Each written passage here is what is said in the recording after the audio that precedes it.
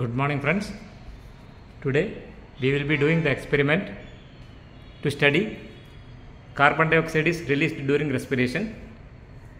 We made the setup with the conical flask containing sprouted seeds in which potassium hydroxide solution is suspended in a test tube freshly prepared fitted with a one hole cork having the delivery tube attached with one hole cork properly sealed keeping the other end of the delivery tube in the solution colored solution containing water.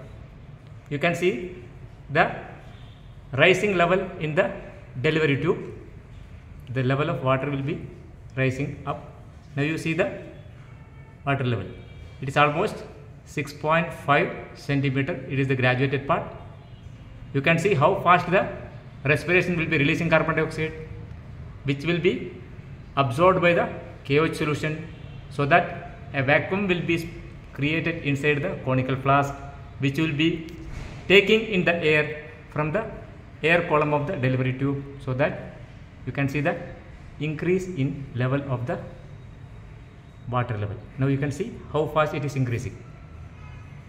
Now 6.5 was there. Now see gradually it started decreasing. Within the if the connections are airtight you can see it properly. If the sealing is done with vaseline properly at every place you can clearly see the result very fast. It is almost having quarter of the conical flask is filled up with the now you see the increasing level. You see it is gradually increasing. You can see the watermark how it is moving fast. So it was 6.5 now it is almost 7 so within 1 minute let us wait. What will happen to the level of water inside the delivery tube? You can see the setup. Okay. So now it is daytime. Fully light is available. The plant is respiring at a very faster rate. So it is releasing carbon dioxide at a very faster rate which will be absorbed by the potassium hydroxide solution freshly prepared inside the test tube. So it will be creating a vacuum inside this so that the decrease in pressure will create the rise in level of the water. You can see the rise level in water. You can see this now it is completely you can see.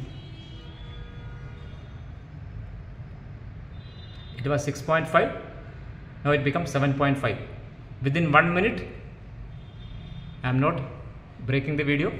Within 1 minute see the rise in water level.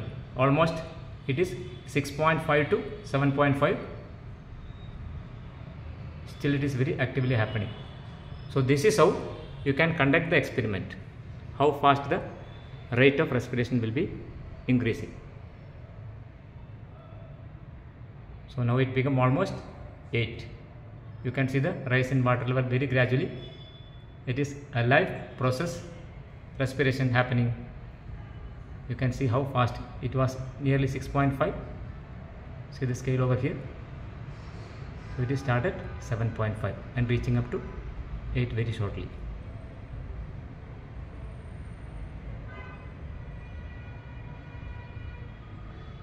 So respiration is a continuous process. Hope this will help you to understand why? The air column is taking the water along with that. Now you can see.